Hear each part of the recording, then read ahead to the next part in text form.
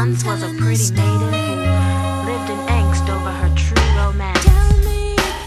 Smell the flowers